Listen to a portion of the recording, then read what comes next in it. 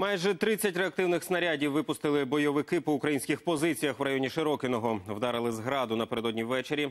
Минулося без втрат серед армійців. На приморському напрямку вчора було найгарячіше. Загалом за добу 17 обстрілів. Одного бійця поранено. Понад дві години ворог бив по наших укріпленнях у районі Авдіївки та шахті Бутівка під Донецьком. Останні новини з фронту від наших кореспондентів. Авдіївська промзона зустрічає нас скрипом розбитих ангарів. Незадовго до нашого прибуття одну з українських позицій знову обстріляли бойовики. П'ять раз. То з крупним калібром кулемета, то стрілкове оружие. То. По-різному.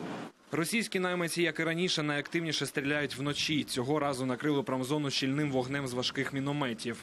Це були 120-ті міномети. Це е, були десь більше 15 спочатку приходів, потім він повторив.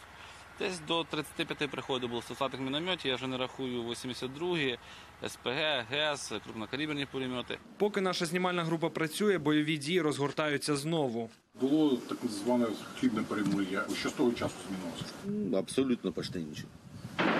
Як були обстріли, провокації з їхньої сторони постійно. А что мы вот слышали только что? Ну, це таке, як вроді ПКМ робота. Утес буває, сюди працює постійно. Одразу після одиночного пострілу ворог відкриває активний кулеметний і гранатометний вогонь.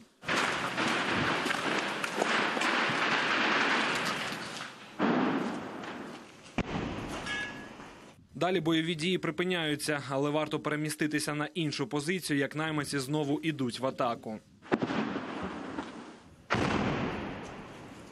Бойовики стріляють з боку Донецької фільтрувальної станції. Противник провокує. Навіть сьогодні ви чули, як були ходили по позиціям. Як десь в 11.20 противник відкрив вогонь е, в зв'язку з тим, що в 12 годину там мали приїхати люди з ОБСЄ, щоб спровокувати відкриття вогню з нашої сторони і знову нас звинуватити, що ми не дотримуємося мінської домовленості. Утім, наші військові не відповідають до таких провокацій. Ворога давно готові. Даніл Снісер, Руслан Сміщук, Євген Пахульчук. Новини телеканал Інтер.